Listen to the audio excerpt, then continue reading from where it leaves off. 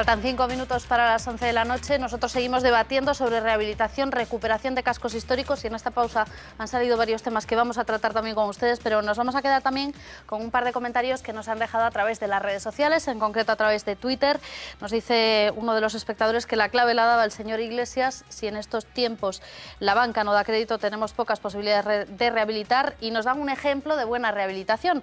El casco histórico, manteniendo y respetando su tradición y estética, Cangas Tomorrazo dos ejemplos que nos dejan aquí, de los que vamos a seguir hablando, de estos ejemplos y también del problema del crédito a la hora de acceder a la rehabilitación. Pero decía antes de la pausa que quería preguntarle a, Benigno por un tema que a mí me ha llamado mucho la atención con esto de la accesibilidad.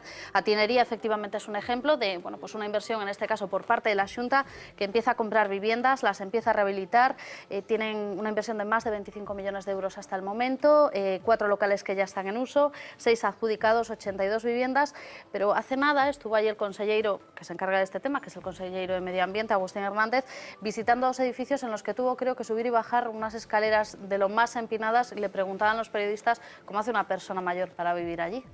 Evidentemente eh, hay eh, sustratos que a lo mejor tienen que ser analizados en cuanto a accesibilidad. es uno de los puntos eh, que bueno, eh, se han eh, venido eh, haciendo normativas sobre ellos y que tiene que entrar un poco en, la cabeza de, los técnicos, de las personas, de, todo el mundo, para saber que, hay que dar respuestas a eso. Evidentemente, cuando existe una pieza histórica integrada en un edificio que tenga problemas de accesibilidad, esa pieza forma parte intrínseca de, su estructura. Como eh, las escaleras de las que hablaba Elvira. De eh, pues a lo mejor no se puede tocar porque es, eh, aunque sea una imagen, es un, es un vestigio de lo que, de lo que existía. ¿no? Yo recuerdo en Viveiro mismo una antigua escalera que había en un, edificio que era el edificio de los Leones, que era una maravillosa escalera que, que al final se quitó y se privó del disfrute de ese elemento del edificio. ¿Qué ocurre? Eh, siempre hay alternativas, lo decía Elvira antes, eh, hay, hay, alternativas para poder resolver, a pesar de que eh, existe un. Mm, digamos, un, parcelario muy menudo, muy, muy pequeñito, que en ciertos casos no, no lo llega a permitir. Pero puede haber soluciones. De hecho, los arquitectos eh, siempre estamos dándole vueltas en la cabeza a, esos temas y siempre están incorporados. La anécdota es verdad que, puede, que, puede, pero mm, eh, quizá eh, con, el, con el, análisis del, del, caso en concreto, pues a lo mejor esas escaleras tendrían que ser sustituidas por otras que fueran más accesibles y complementadas con, con algún método eh, que otorgará edificabilidad al, al ¿Colisionan a veces la normativa que tiene que ver con la protección de zonas históricas, por ejemplo, en este caso la de, la de Lugo, con las normas de accesibilidad en, las viviendas? Puede haber algún caso eh, cuando las cabidas de, de, los, de, los, inmuebles son pequeñas que puedan colisionar eh, porque no cabe todo, digamos. ¿no? Pero en general, con un buen proyecto sabe solucionar esas cuestiones. Bueno, eh, sí me gustaría preguntarle Alberto una cuestión. Hemos visto dos ejemplos, el caso de Lugo, que nos está explicando eh, Benito en este momento, Benigno, perdón, el caso también de, Vigo, y yo no sé si con las inversiones de las que hablábamos, luego hablaremos de planes urban también, eh, a uno que vive en Ferrolbello se le queda una cara un poco como de, ¿y los millones que se invirtieron aquí, dónde están? ¿Por qué aquí no hemos sido capaces de hacer esto? No, em, simplemente yo aconsejaría a la administración más próxima en este caso, ¿no? pues acudir a, esos lugares donde se están haciendo las cosas bien para que aprendan, sobre todo que aprendan, porque verdaderamente los perjudicados somos los vecinos. Si en algún lugar eh, cascos históricos se está llevando bien el planteamiento, está dando resultado, ¿por qué no en nuestra ciudad? Evidentemente tiene que haber un problema mayores, ¿no? pues que lo descubran ellos, son nuestros gestores, ¿no? pero no solamente lo que es la administración más próxima, que es la administración, el Concello ¿no? en, este caso, sino que estamos hablando de la Junta de Galicia. Patrimonio tiene eh, mucha importancia, mucha relevancia. ¿no? A veces se pone el caso de que bueno, pues hay un problema ¿no? en, los ayuntamientos. Precisamente la declaración de un bien de interés cultural el, el, preparar un plan especial en un barrio agiliza los trámites, porque ya no tienen que ir a patrimonio, sino que directamente va al ayuntamiento. Entonces, bueno, no sé si se sabe, pero hay que decirlo claramente, ¿no? Son todo beneficios. Otra cosa es que la incompetencia se resuma pues, en, en, ese mensaje constante, en ese bombardeo de que esto es malo, malo, malo, malo, cuando no lo es. ¿Pero quién envía ese mensaje?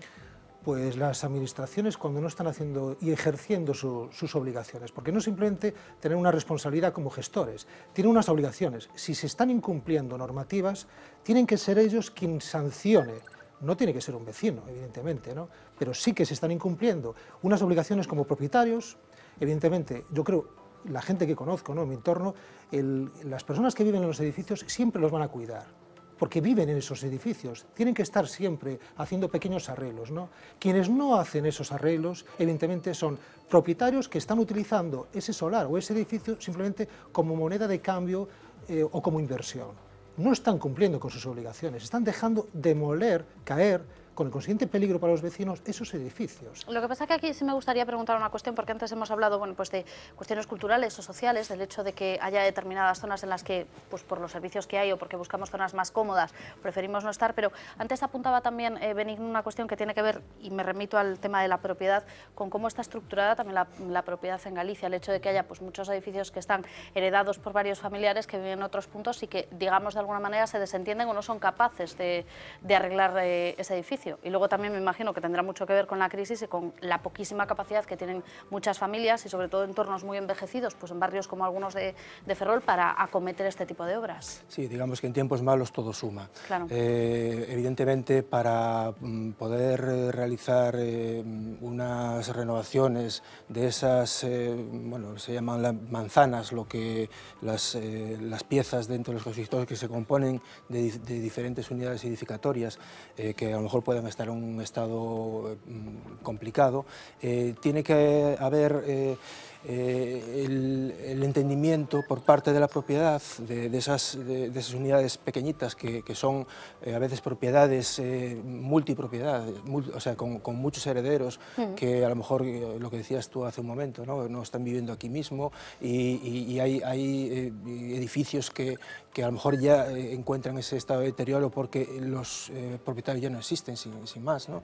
Eh, entonces, eh, eh, antes comentábamos a mesa cerrada cómo la nueva ley permite crear asociaciones de, em, de, propietarios en, las manzanas para que a lo mejor un inversor privado que, pueda interesarle, incluso con el objetivo del retorno de la inversión, por supuesto, pueda acometer operaciones integrales en, manzanas concretas.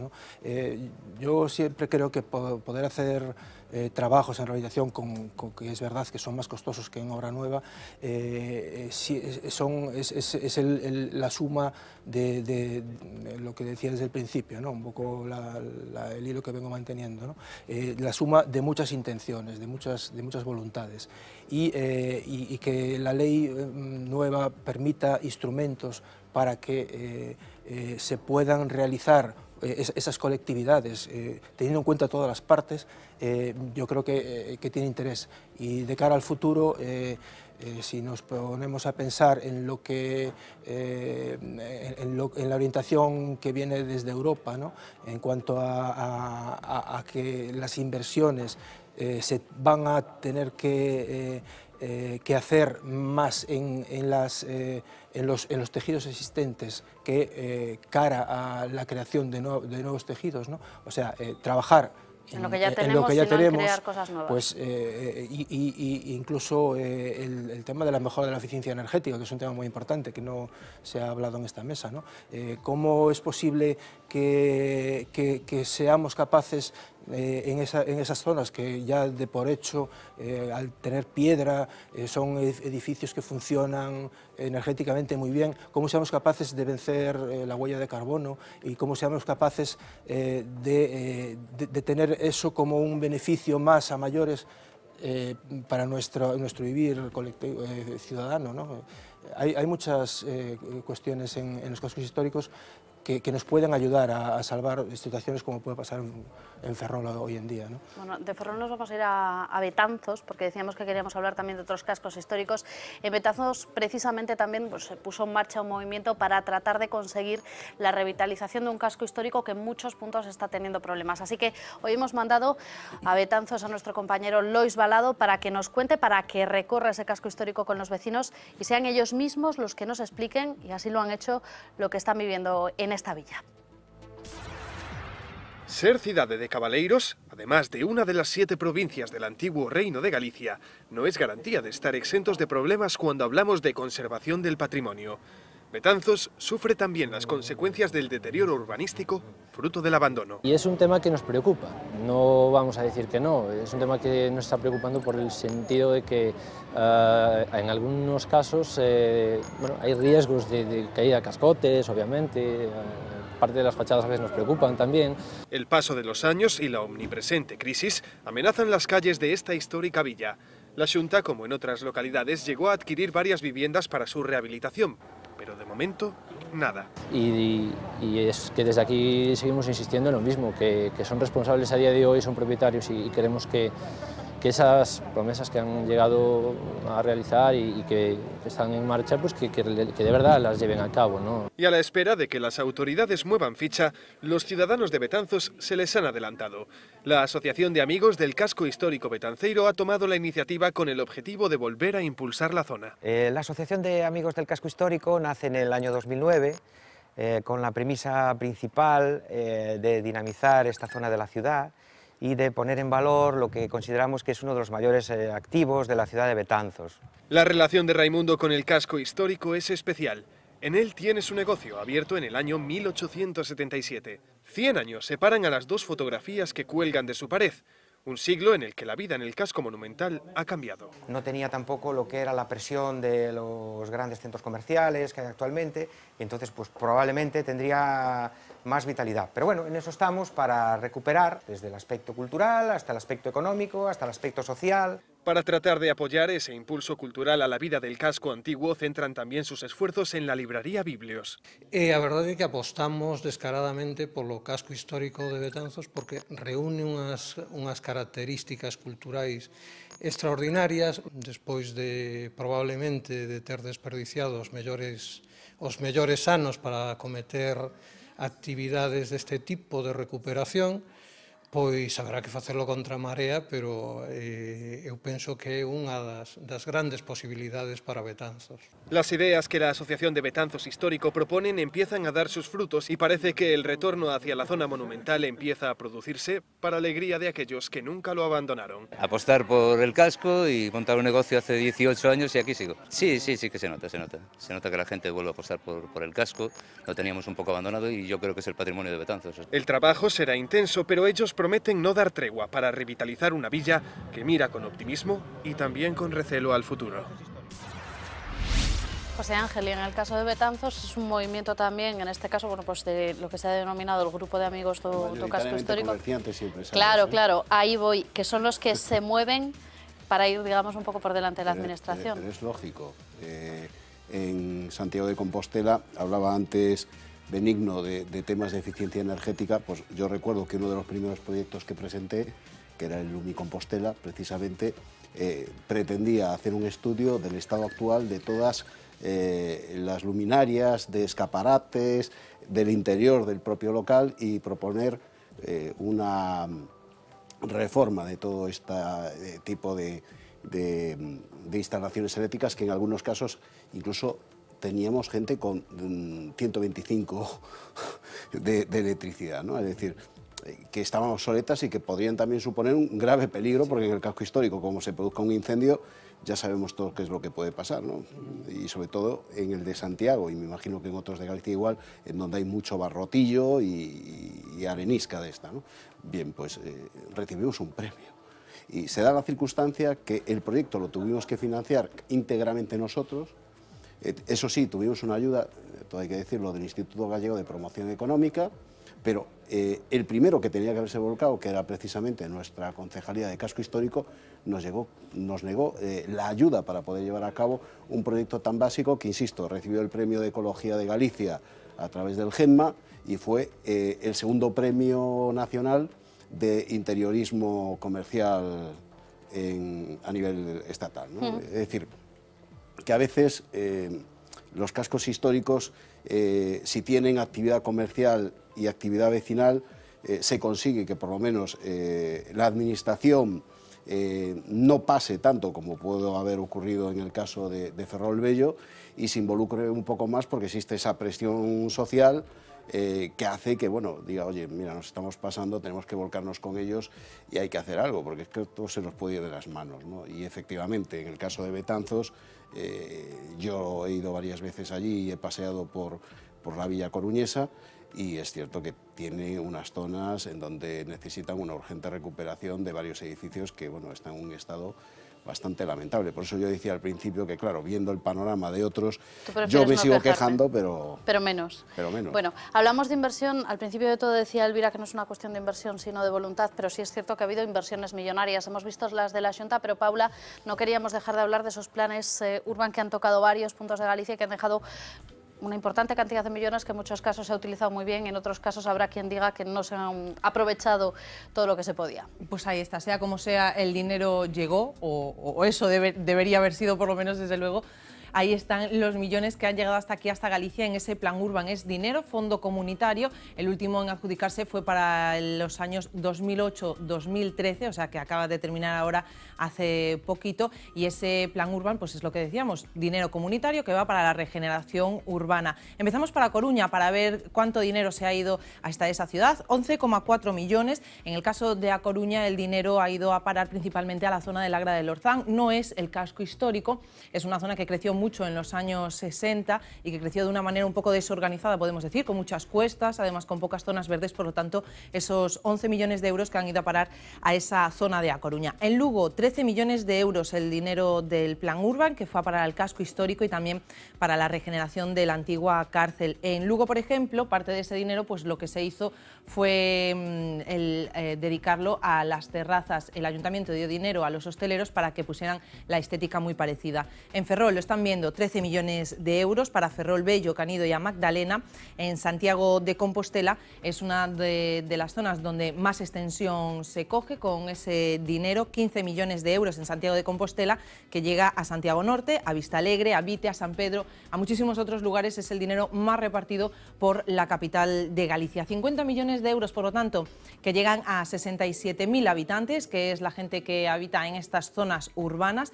Los que han quedado fuera de este plan urban, pues entre las ciudades están Vigo, Pontevedra y Ourense, que no llegaron a conseguir esos dineros para el periodo 2008-2013. Aún así está ese dinero de la Junta, del que mencionábamos, 56 millones de euros para el año 2014-2016. Bueno, pues esas son las ayudas que se reciben. Gracias, Paula, por todos los datos de, de esta noche. Elvira, tú decías antes, no es una cuestión de inversión, bienvenida sea evidentemente los fondos, pero claro, la pregunta también, antes hablábamos de técnicos, ¿qué papel deben jugar los técnicos a la hora de plantear la administración? Este es el dinero que tenemos, tenemos 13 millones de euros, por aquí tenemos que empezar.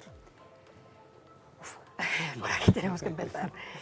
Evidentemente, eh, hablaba Benito antes de que hay que buscar las zonas más interesantes. Yo discrepo en que sean en, el matiz que le dio Benito. Yo creo que hay que buscar las zonas más valiosas.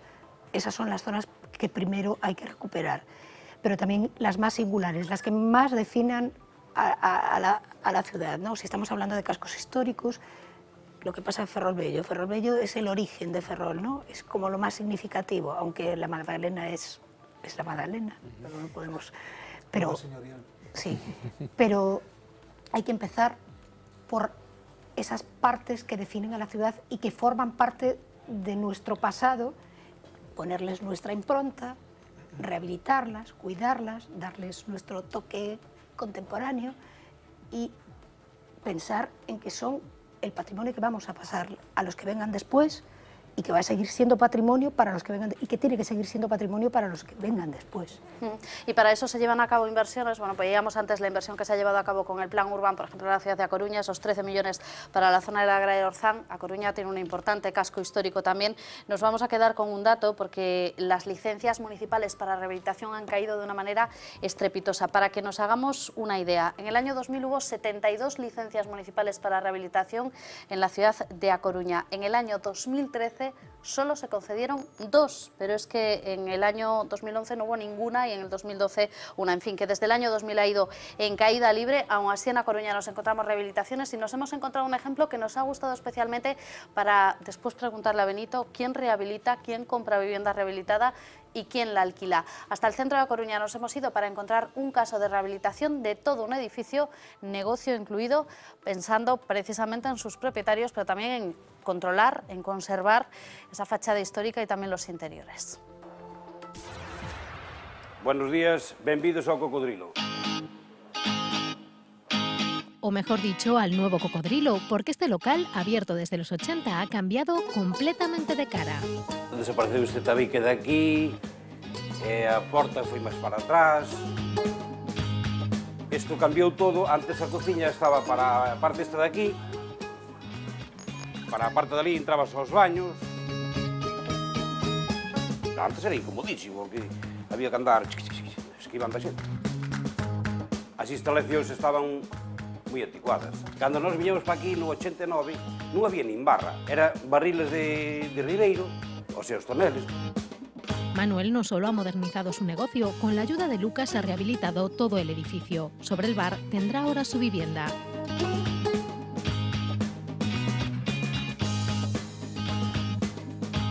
La reforma ha tenido que adaptarse al entorno, lo que no siempre es fácil. La verdad que hoy en día la normativa eh, yo creo que machaca muy buenos proyectos. En el tema de las rehabilitaciones se hace muy complejo, te exigen unas alturas, te exigen unas ventilaciones, te exigen unas iluminaciones. O sea, estamos tan condicionados por, la, por una normativa que a lo mejor no está tan pensada para estos casos específicos que a veces en el resultado final de la obra conllevan un problema. Trabajar en un casco viejo también tiene sus dificultades. Bueno, las complicaciones que tienen todas las obras en casco antiguo, ¿no? El, bueno, trabajar en calles donde no puedes acopiar a cualquier hora, el condicionante pues, de, de tener que eh, respetar el, el, tema de materiales, de madera, rehabilitación en piedra. A veces surgen problemas pues, con temas arqueológicos. Pero con dificultades o sin ellas, Manuel está encantado con el resultado. Fai un ano que se empezou a fazer a obra e se está solo falta do Concello a primeira ocupación. El coste ya es otra historia. Yo creo que en construcción es, hay una, una horquilla enorme. O sea, puedes construir, no sé, puedes hacer cosas por 450, 500 euros metro cuadrado a, a lo que te dé la gana, ¿no? Son tantos números que no me acuerdo. Esperan que las ayudas a la rehabilitación animen a muchos propietarios a ponerse manos a la obra. Pasado una cosa muy curiosa mientras estábamos viendo esta, esta pieza, decía el arquitecto de ese, de ese edificio de la rehabilitación, que, muchos, eh, que la normativa tumba muchos proyectos. Y Elvira, aquí a mi derecha, dijo justo lo contrario. Y aquí a mi izquierda, Benito dijo, es exactamente así. Así que volvemos justo al mismo enfrentamiento. A ver, ¿no pasa esto? ¿La normativa no tumba buenos proyectos? Yo creo que un, la normativa, o sea, el que tú te encuentres con problemas eh, a la hora de rehabilitar, de rehabilitar, o de hacer un edificio nuevo, la normativa te hace hacer un proyecto mejor. Yo creo que las condicionantes te hacen hacer un proyecto mejor. O sea, si no tienes ningún tipo de condicionante, pues, pues sí, puedes hacer un edificio espectacular, más bonito, más feo, que se vea más, que se vea menos, pero si tú tienes un montón de condicionantes, el hacerlo, el hacer esos condicionantes, el trabajar en esos condicionantes, el preocuparte de solucionar todos esos condicionantes, de que eh, se mantengan los materiales eh, tradicionales, las tipologías tradicionales, que el edificio sirva para vivir hoy, Evidentemente no se puede vivir como, como en el 19 o como en el 18, hay que vivir ahora. ¿no? Y entonces necesitas las tecnologías, necesitas que te llegue el gas, que te llegue el teléfono, que te llegue todo. Pues todos esos, es, es, la normativa, yo desde mi punto de vista, no acota, eh, no genera malos proyectos, genera buenos proyectos. A ver, Benito. Yo estoy de acuerdo también. ¿eh? ¿Tú estás de acuerdo? bueno, mira, Tú con Benito. Volviendo, mira, volviendo eh, al tema de la escalera, que le preguntabas antes a Benigno, ¿no?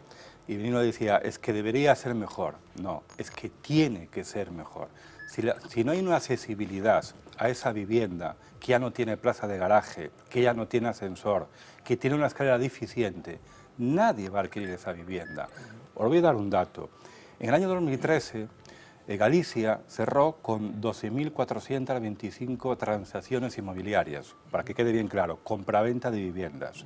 En el registro histórico, que es prácticamente del año 98, es el año que menos compraventa de viviendas se han efectuado.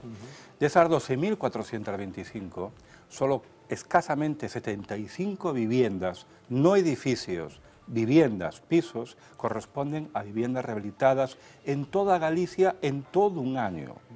Esa es la realidad de la rehabilitación en nuestra comunidad. Por lo tanto, eh, ¿quién rehabilita? Casi siempre el propietario. Primero. Segundo, ¿quién rehabilita? La administración. Cuando compra, para ponerlo mejor, llevar unas competencias.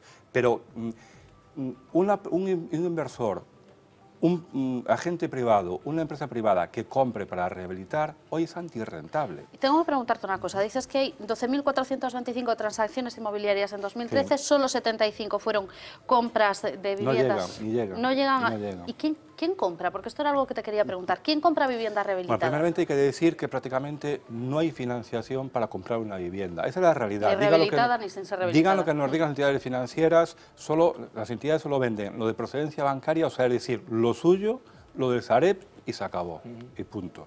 Dicho esto, eh, aparte a mayores, lógicamente, un matrimonio, eh, sea joven o de mediana edad, si no tiene ascensor, es que es vital, porque es que es la primera barrera que tenemos. Si no tiene ascensor, si no tiene plaza de garaje, si esa, esa, esa vivienda, eh, hay habitaciones que no tienen luz, que pasa en muchas edificaciones del casco antiguo, que solo tienen eh, ventanas a la fachada y hay eh, habitaciones interiores que quedan prácticamente sin luz o con una luz muy deteriorada por un patio de luces, etcétera, etcétera, pues esa vivienda no es atractiva a la hora de comprar y no la adquieren. Esa es la realidad. ¿Quién alquila esa vivienda? Pues casi siempre estudiantes o personas desplazadas temporalmente, profesionales, la típica enfermera que se desplaza a un hospital o una residencia con un contrato de un año, pues busca algo, es joven, menor de 40 años, y bueno, pues vale, me vale este sitio porque es económico. Es quien alquila esa vivienda. Por lo tanto, eh, la demanda de vivir en el casco antiguo es muy reducida, porque un matrimonio con niños pequeños, sabiendo que los cascos antiguos casi siempre hay, es una zona de vinos, una zona de bares, etcétera, hay una serie de ruidos, hay un tránsito que, mm, digámoslo así, mejor no es tampoco es recomendado para, eh, para una familia que quiere tranquilidad, etcétera, etcétera. ¿no? No es lo mismo en el tema de bajos comerciales, que es otro punto de vista totalmente distinto. No, no, Es pero decir, yo hablaba de viviendas aquí. ¿De de quién vivienda, compra y quién alquila este pues, tipo de viviendas? es- es- es- es- es- Ese es el mm, perfil. Ese es el perfil. Pero ¿y estas setenta y tantas viviendas? Y emigrantes. Emigrantes. Y emigrantes. ¿Pero, Pero por qué? Por alquiler, por precio. compra, no, no, no. migrante en estos momentos prácticamente no tiene ¿Y financiación. de compra y de compra estas setenta y tantas viviendas? ¿Qué perfil se mete a, a comprar una Pues vivienda así? eh, una persona pues, que tiene unos ideales, como aquí mi compañero contertulio, bueno, no, es una broma, no, o sea, quiere decir que una persona que a lo mejor pues, bueno, pues le guste bien el casco antiguo, eh, casi siempre eh, es una persona que no vive en pareja, o sea, es una única persona, que eh, tiene una profesión, pues bueno, pues que le permite el decir, bueno, pues tengo aquí esta vivienda, por un momento dado tengo una segunda residencia, que está en una posición cómoda, por decirlo de alguna forma, ¿no? Y bueno, pues, es Esto que... me lleva a preguntarle, y antes de que intervenga Alberto, que quería decir algo, y antes de que vayamos cerrando, que nos vamos a ir de tiempo, Elvira decía antes, no puede ser que la rehabilitación sea solo para ricos. Por el perfil que me está dando, esto es gente que tiene un poder adquisitivo alto o medio alto. Sí, él está dando, un- sí, pero por eso hay que hacer eh, una cultura de rehabilitación. O sea, si queremos que nuestros cascos históricos permanezcan, porque los queremos, queremos que estén ahí y consideramos que son valiosos, tenemos que eh, cuidarlos, pero no cuidarlos como decías tú, como si fueran parques temáticos, no, tenemos que llenarlos de gente. ¿Cómo los llenamos de gente? Desde luego, No, yo, yo no quiero un parque temático. Que no, no, no, por es eso, como contrario. decías tú, justo lo contrario, justo Claro. lo contrario. Pero claro, yo con este planteamiento que me está haciendo Benito, entonces es imposible rehabilitar nuestros cascos históricos, porque si mm, todos los, eh, o sea, no Con la normativa actual, sí, Elvira. Ya, pero Y con no patrimonio, entonces- más todavía. No, no, no. Es que ahí está Entonces el no- problema. Entonces no rehabilitamos. Claro. Eh, lo de los aparcamientos, evidentemente tiene que haber una eh, cuestión de tipo público en los bordes del, en los bordes o en los O interiores de manzanas claro. o Puede eso. haber soluciones para eso. El tema de la accesibilidad. El tema de la accesibilidad, evidentemente, hay que solucionarlo. Hay que solucionarlo. Cuando, yo ponía antes el ejemplo ese, cuando hay que mantener una escalera hay otra solución. Y si no hay otra solución, habrá que hacerle una modificación a la escalera. Pero no empecemos por hacerle, mm, por destrozar... O habrá que hacer un, asesor colectivo que afecta a tres edificios, edificios y, que, ponemos... y, que, eso resuelva la accesibilidad. Sí. Hay múltiples soluciones. Pero de todas formas, Elvira, eh, yo te hablo con conocimiento de causa porque sí. lo veo día a día, porque no, no. En, la oficina nuestra. El número que diste eh, antes. Tenemos es... cantidad de gente que nos viene, nos explica los problemas que tienen con la oficina de casco histórico, de rehabilitación y demás.